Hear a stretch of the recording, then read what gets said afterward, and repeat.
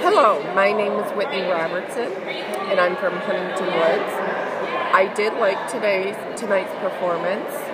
I expected, though, a little bit more adult, even though I thought it was pretty racy in some spots. Loved the costumes.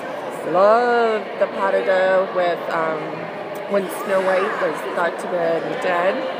The apple scene was pretty violent pretty good, but didn't quite understand understand the red shoes at the end and how the queen died all of a sudden with her shoes. But other than that, it was great. Loved the costumes, and the company did a very good job.